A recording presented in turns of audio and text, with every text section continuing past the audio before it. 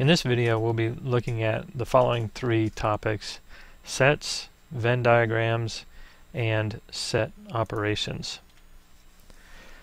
Looking at sets, we'll usually use capital letters to indicate a particular set. For instance, the capital letters A, B, or X. For elements that are inside of a set, we will use the lowercase letters and you'll see here examples little a or lowercase a, lowercase b, and lowercase x.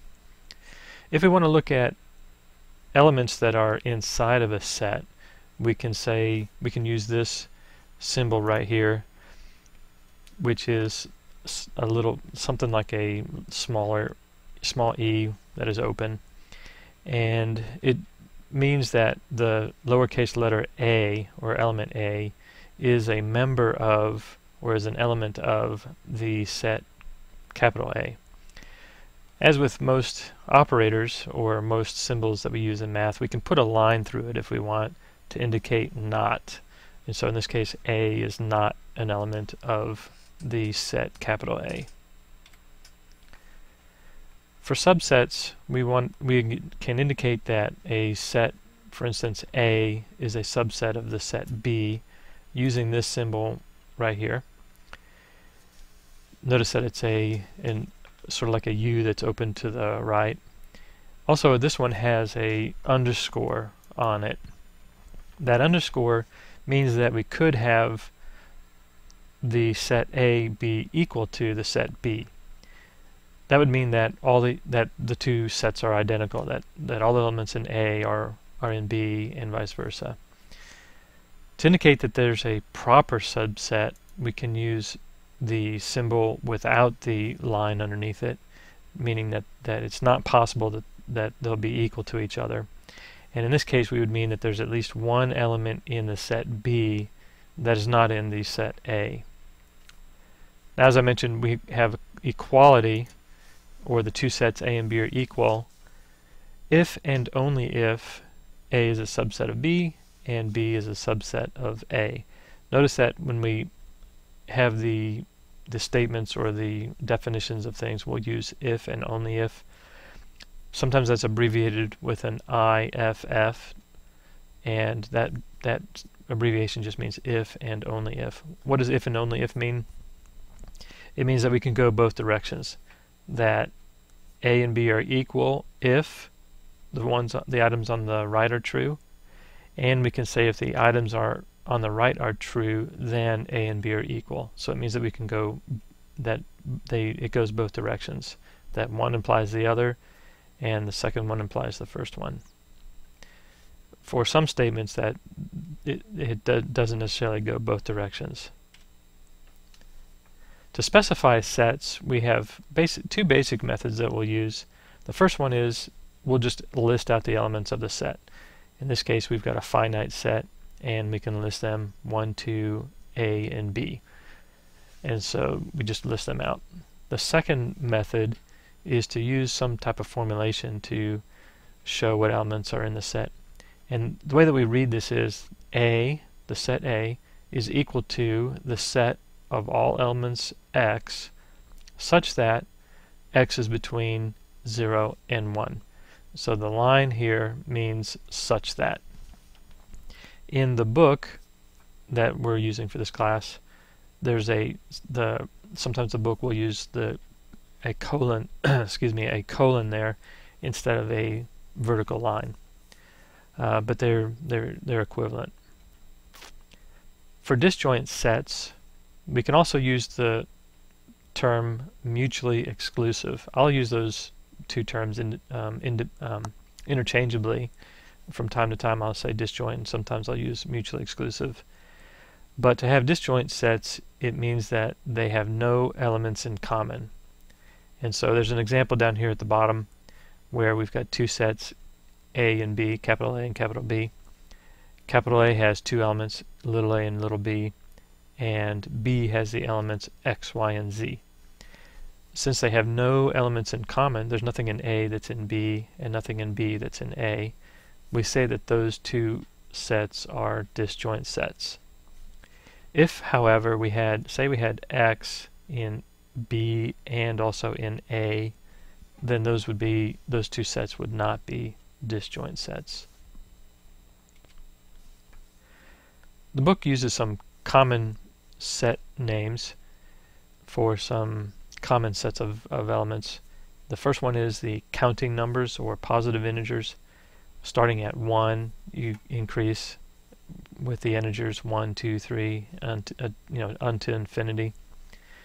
The second is the natural numbers, and it's basically the same set as above, except we add the 0 element. The third set is z, or all integers. So it's all integers, both positive and negative, from minus infinity to infinity. And the last set is the real numbers, all, all, all real numbers, both positive and negative. And then we can note that there's that these follow the subset ordering as follows. P is the smallest, P is a subset of n, because n includes a zero element. And notice that I don't put a line underneath it because they are all of these are proper subsets of each other. So n is a subset of z, and z is a subset of r. Now let's look at Venn diagrams. But before we do, let's look at two new sets that we haven't defined. The first is the universal set.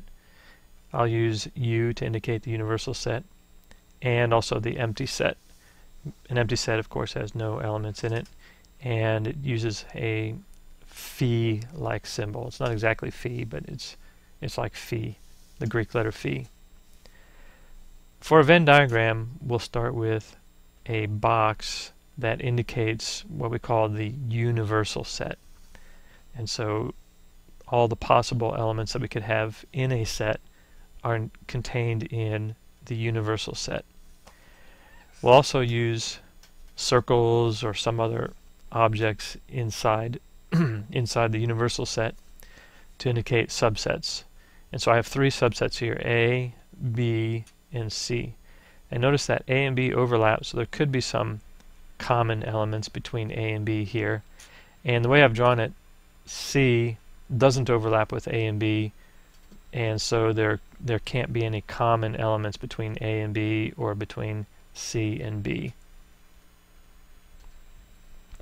When we look at the different sets in, in the problems that we have, we'll show some diagrams like this and then maybe fill in to indicate what what groupings that we're talking about for those sets. So let's look at some set operations. These are the basic set operations. The first is the union of two sets. So we have A, U, B. This is a, a upward facing U. And that the union of those two sets is equal to all elements of all elements x such that x is in A or x is in B. So the union is a like an OR operator. The elements are in A, a or in B. And so therefore it includes all the elements of A and A and B.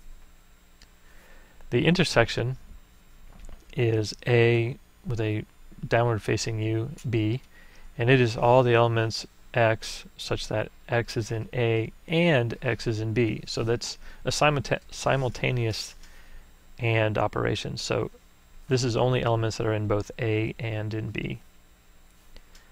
The next is the complement. The complement can be shown in, in numerous ways. It, the book, I think, uses a uh, sub superscript C, little c. I'll use the a bar over it. It's just a little bit easier to, to show. So the complement will be A with a bar over it. And it's all elements of X such that X is in the universal set and not in the set that we've taken the complement of.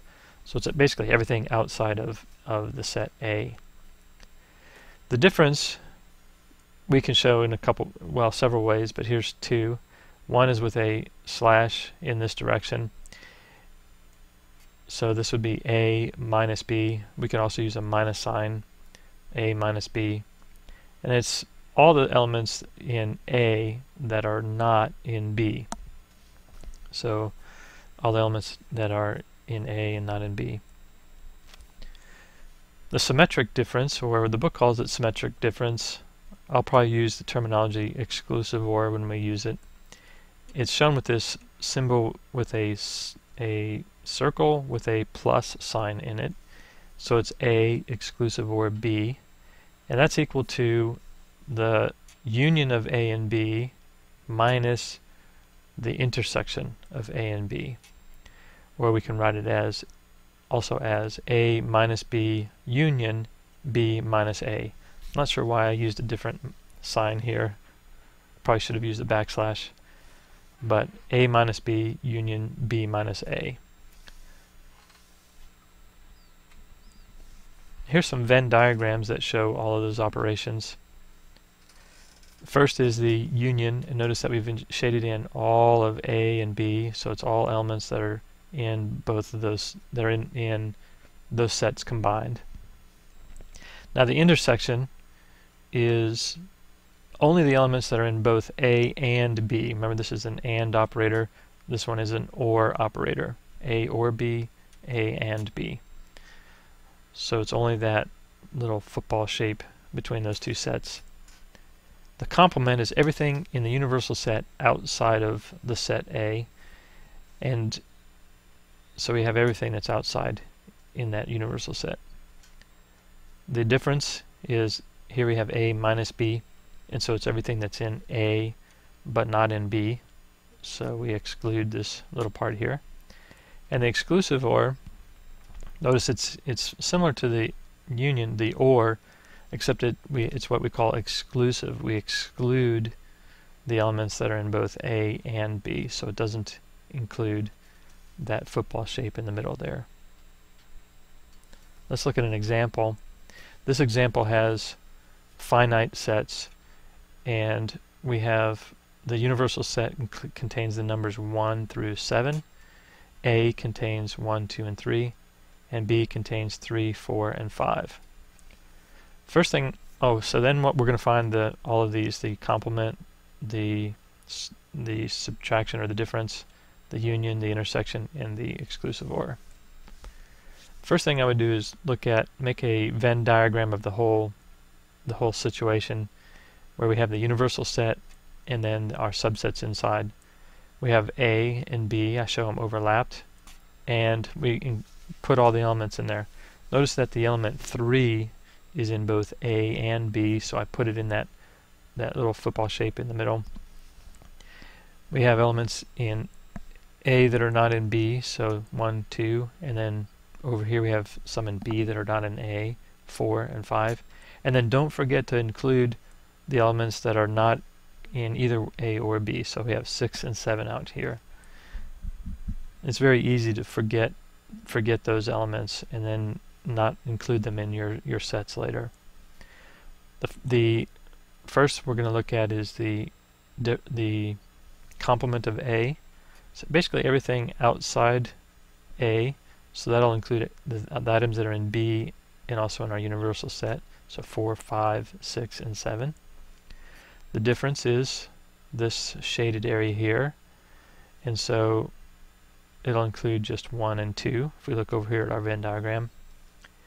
The union is everything in A or B. And so we have 1, 2, 3, 4, and 5. And notice that 3 is in both, but we only include it once in that union. We wouldn't we wouldn't show it twice. The intersection is just this balloon or this football part here in the middle, which is just 3. And the exclusive OR is those elements that are in A or B but not the middle part. And so we looking at our diagram up here would just be 1, 2, 4, and 5. And so there we have our exclusive OR of A and B.